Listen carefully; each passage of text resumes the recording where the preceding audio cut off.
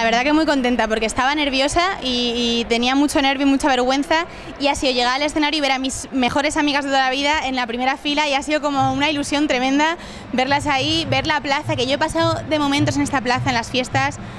he sido muy feliz. Y luego aparte con mi primo, que es el director de comunicación de Leganés y pensando en mi abuelo, en, lo feliz, era muy, un gran seguidor del Leganés y es el que un poco inculcó la pasión del Lega a mi primo y, y me quiso a mí también un montón y ha sido muy emocionante, muy emocionante la verdad.